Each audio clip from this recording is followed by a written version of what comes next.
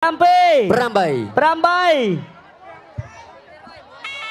បន្តការប្រកួតបាទបន្តការប្រកួត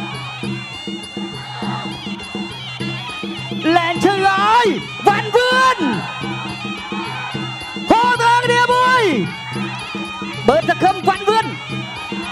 អាយយមួយដៃរបស់វ៉ាន់វឿនចាក់មួយជង្គង់របស់បើតខឹម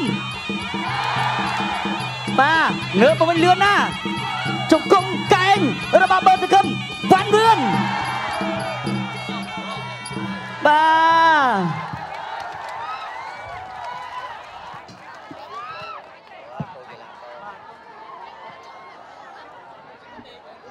សូមអបអរសាទរ